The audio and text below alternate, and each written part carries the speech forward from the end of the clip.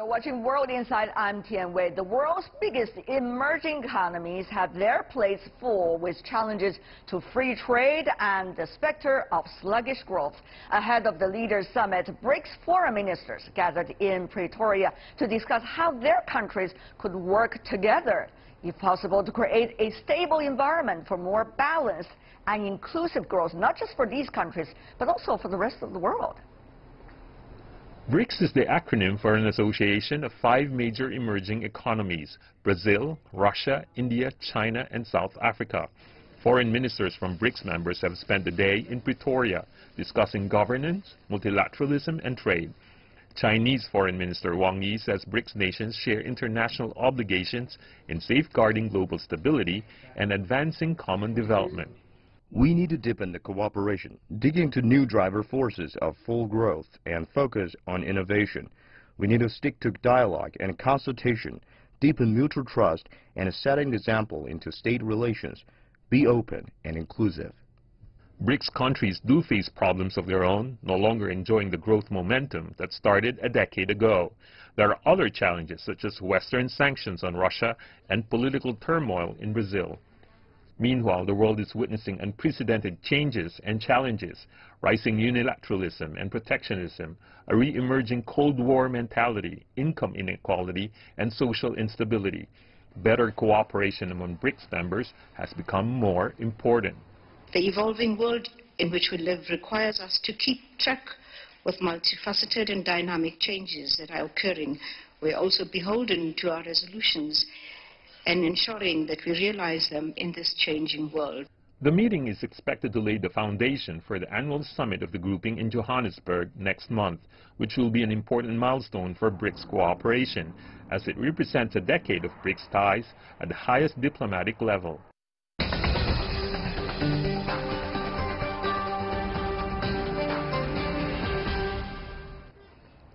For more talks about the BRICS meeting, let's ask our panelists. They are coming from four of the five BRICS countries with us in our Beijing studio. Wang Yiwei, Jean Monnet Chair Professor and Director of the Center for European Studies with Renmin University. Professor Wang just came back from South Africa. Good to see you, sir, here. Here in Beijing, we want to welcome Mr.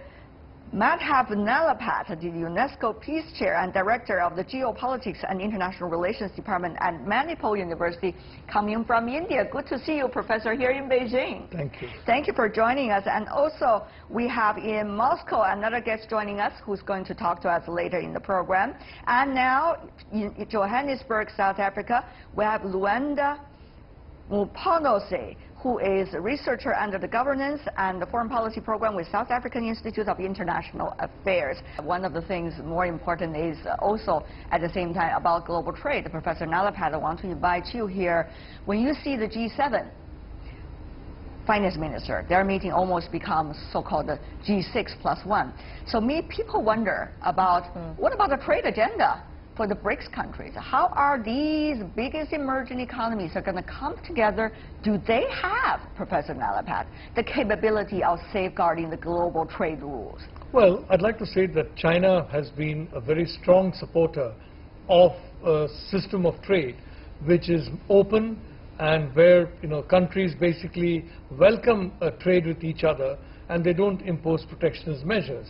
In that it is now quite a contrast from the United States which is now imposing protectionist measures. For example, if you were to take the United States uh, Trade uh, Office seriously, Canada, uh, fr um, France, the UK, the EU are actually major security threats for the United States. Japan is a security threat for the United States, yes, which frankly is quite absurd. So I think India as well believes in open trade. Our Prime Minister has said that several times, as has the President of China. So I think on, so far these two economies are concerned, they're on the same page. Right. Uh, let's also have uh, Professor Wang here with us in Beijing. I mean, you've been working on the the uh, Belt and Road Initiative, BRI, for quite some time. Free trade is extremely important. That is the fundamental that BRI is going to rely on in a way. So, uh, Professor Wang, the question though is, will emerging economies together be able to be strong enough to safeguard the rules of the global trade? Emerging economies all want global trade. Definitely. BRICS, uh, even uh, this concept uh, uh, produced by the West. Uh, it's a more Goldman Sachs for investment diversity, but a more, more political, strategical cooperation, people-to-people -people, uh, connections, which uh, more represents a new type of uh, international relations.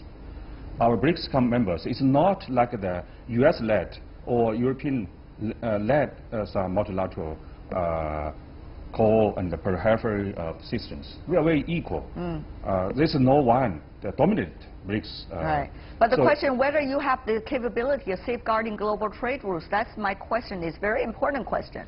I come it back also shows the, the relevancy of this forum, yeah. whether it is relevant or not. Of course, uh, BRICS now is safeguard the multilateralism, and trade is uh, definitely is global even. And uh, emerging countries that uh, even the volumes may be less than the uh, West, mm. but uh, very dynamic. so the trade volume more increased from China, from other uh, emerging countries.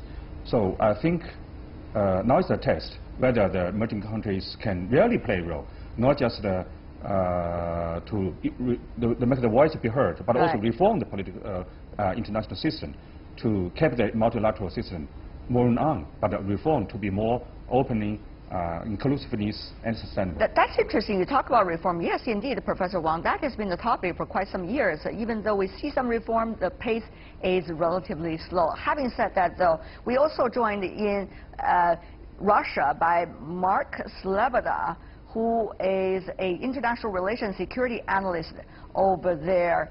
Uh, Mr. Sleboda, though, this is not a new topic, the reform of the international system. But now it's not just about the reform of the international system. The bottom line has already become much lower, which is whether this international system still works and whether there is going to be enough safeguard for the current international system. It, it seems that people have long forgotten there has to be a lot of work need for the reform because now it's the really the existence of the international system or not, Mr. Slobodov. Yeah, there, there's a problem when we're talking about the term international system because often countries such as Russia, China, India, and the West, when they speak of the international system, are speaking of two entirely different systems. Russia and China speak of the international system created in the post-World War II era with the created of the UN, the UN Security Council, and the UN uh, uh, charters founding uh, bedrock principles of non-interference in domestic affairs and sovereignty and respect for other states' sovereignty.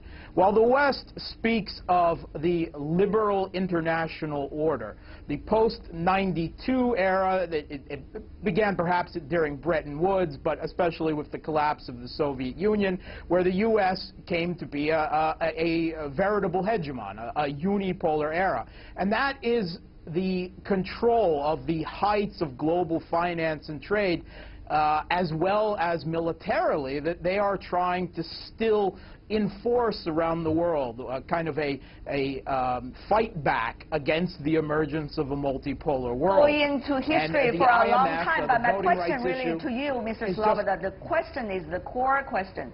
That is, is the international system that we're talking about, particularly international trade system, can be guarded well by the emerging economies coming together, such as in the platform of the BRICS country. We don't want to go that far back into the history. Yeah, no, I don't think they have yet shown the strength of purpose. Um, they haven't shown the strength of unity required to act together uh, uh, against the unipolar system. I think the BRICS um, has uh, basically hit kind of a, a, a, frozen period. It's paused with the uh, seizure of power in Brazil by a uh, right-wing leader in, in what amounts to a legislative coup India moving closer in relations to the United States, flirting with them militarily, with the Quad, in what they now term the Indo-Pacific. Okay. And even in South Africa, there have been critiques of South African president, the new South African president, Ramaphosa, is, is flirting with the West and moving away from BRICS. So uh, BRICS certainly isn't that forum, and if BRICS isn't that forum for emerging powers, uh, you know, to exert their influence, then there isn't any hope for it at the current time. What about those questions raised by uh, Mr. Slobodov, uh, Professor Nalapat from India? Uh, are the internal political situations within some of the BRIC countries and the different stages of spearing up their economy once again. We know some economies are slow, some are much better, but will those differences be able to prevent these BRICS countries, emerging countries, come together and guard the most important thing, which is the international trade rules? Well, I'd like to say that uh, our Russian friend has pointed to some political trends. But may I point out that because of social media and because of the higher conscientization of the people, the, it is much more difficult now to continue to impose policies where the people at large are shortchanged. And a lot of the policies that uh, the Bretton Woods system introduced are policies which basically benefited a few people and a few countries. Mm. Now, when an effort is made to go beyond those policies, those few people and those few countries naturally are resisting that. But I'm not as pessimistic as he is. Take, for example, India. Recently, we opened, uh, along with our Iranian friends, the Chabahar port. And India and Iran have excellent relations. India and Russia have been having good relations for the last uh, 70 years. I mean, recently Prime Minister Modi and President Putin met at Sochi. Mm. Now, at the same time, India and the United States have very close relations, and these are getting closer. So I think the West is, will have to be more pragmatic, but I agree with him that it will become more pragmatic mm. only when leaders in the rest of the world stand up for their interests and tell them, look, you can't have a system okay. which works for you and not for everybody. Mm. So whose interest first? Or will it become a question of whose rule is it? I think that is a big question in our world today. Professor Wang, Professor Nalapat would like to say India's multilateral approach uh, on different platforms with different powers of the world. And what about China? China is the same, I think. Uh, we have the SCO summit is being held in Qingdao. Shanghai Cooperation Organization, just for those who do not know all of these abbreviations. Also, I think BRICS is also a contribute to the G20. Uh. If BRICS fail, G20 will fail. And then uh, that's terrible for the world. Mm. So BRICS should work together, but it's not uh, uh, work alone. We should work together with European Union, with all other uh, stakeholders. So-called the BRICS Plus, I think this initiative, China last uh, summit, I think very popular now mm. in the BRICS uh, member states. Uh, BRICS Plus meaning BRICS with other emerging and also developing economies mm -hmm. around the world. Mm -hmm. So uh, BRICS is the hope of the uh, new international relations and uh, maybe cannot safeguard the uh, openness or inclusiveness mm. by themselves. But if we work together to point to that directions, and work together with other stakeholders. But, but Professor Wang, you do see the different BRICS countries, particularly China, Russia, and India, whose economy seems to be on the upswing, even though Russia's slow as a result of sanctions, but still picking up right now. They are trying to create their own reaching out ways to the rest of the world. And they try to create their own logic of international relations. So how will all these complicated logics of all these interesting countries within BRICS be able to work together, not against each other. I think that is the thing we're talking about here. All the webs that they have created individually, how will they come together rather than separate them? Professor so Wang. we said it's, it's giving me a big smile. I guess in Johannesburg you talk about this, right? We, we, I, I, can just come back from Johannesburg. There's the BRICS Academic Forum, yes. which also uh, mentioned many things about that. That this is a new baby, how to create a story that we actually born uh, actually uh, for kind of the mission, uh, even separated by different continent. Okay. But actually we are the same identity. So this is, the, of course, a long way to go. Mm. Professor Nalapat, you have some views about that? Well, uh, I'd like to say that, frankly, my problem with BRICS, it's not been ambitious enough. Now, it should aim, for example, at much easier Our Indian friend access. is always ambitious, right? Well, I, I, uh, you know, uh, well, not enough in the case of India also. Now, for example, visas we need to ensure that I visas think, are more common. May, uh, uh, yeah. We need to ensure, for example, that each other's currency. Why can't we trade more in each other's currencies? Now there are uh, we, there are so you many. You mean currency swap? is that what you're saying? Precisely. Mm -hmm. Precisely. So my point is, we need to go, frankly, beyond some self-imposed boundaries, and we need now to take some bigger leaps. Okay, let's see if the leaders of the BRIC countries are going to hear our voices. Let's also go to Ms. Mpungose in South Africa. Can you hear me yes. clearly this time? I can hear you better. What about that? I mean, these countries all have their own little universe they have created beautifully. But how will these webs be able to wave together to make sure these countries working together and it's going to be five together, bigger than five? I think um, I'd, I'd, like to just start by saying that some of the nuances of the BRICS is that the BRICS is only like 10 years old, firstly. It's such a, they like the new kids in the block. And for people that are a, a, grouping that is like 10 years old, they've been able to accomplish quite significantly. And, you know, they, not, they, they don't seek to compete with the international order as it is, but they seek to complement it as representatives of the developing South. That's their mandate. Mm. I mean, these are countries that are sovereign, that have their own national interests, and that's what they're pursuing. They don't seek to misrepresent themselves by saying that they're doing something else.